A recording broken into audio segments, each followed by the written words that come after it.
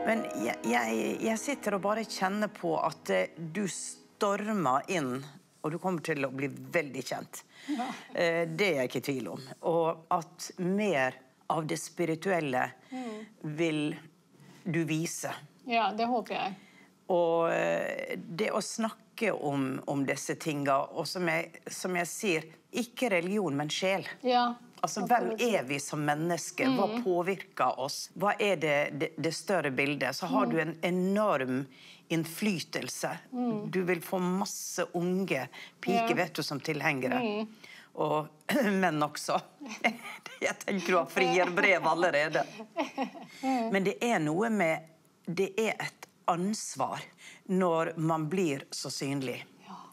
Og da skilles klinten fra hveten. ikke sant? Det er da man ser hvem Ja. som har også dybda. Det Og så blir det liksom når du får det ansvaret der. For jeg tenkte veldig mye på det når jeg har blitt en sånn uh, sosiale medier-personlighet. Når det jeg legger ut ha, kan ha så stor påvirkning på 14 år gamle jenter Du må jo gå inn i deg sjøl, og da må Ja. du bestemme hvem er det jeg har lyst til å være. Ja. Hvordan har jeg lyst til å påvirke disse unge jentene? Særlig fordi det er så mye kroppspress, og det er, det er nesten en vane å ha dårlig selvtillit nå. Alle Ja. kan... Du merker jo det hvis venninnene mine kler på seg, og så er vi hjemme før man skal ut og feste. eller Ja. hva det er. Så står man foran i speilet, og alle sier en ting de ikke liker med kroppen sin. Ja. Og det er så Ja. farlig. For det er den ene, hvis du underholder en negativ tanke, så bare baller det på seg. Ja, ja, ja. Trekk til seg mer. For det som er veldig morsomt, er at eh, når Mamma har alltid sagt at eh, kroppen din er bare den som frakter sjela di. Ikke, ikke tenk så mye på den.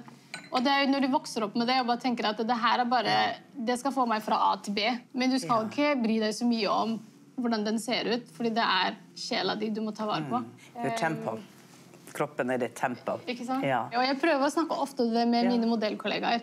Når Ja. vi møtes på eventer, og sånn, så sier jeg jo til dem at det, blir en tomfølelse hvis du alltid Ja. fokuserer på ditt eget varemerke. At utseendet ditt, du må ha de Ja. nyeste tingene og alle, alle disse tingene her. Du kommer ikke til å huske det når du blir gammel. Nei. Og så er det at Hvis du føler deg komfortabel med deg sjøl, og du er i ett med hele systemet ditt, alt Mm. er bra innvendig i, i ditt indre, så kan du bli satt i hvilken som helst situasjon du vil, og det påvirker ikke deg. Fordi Ja. du har kontroll, og det er ikke uro i deg. Helt riktig. Thank you.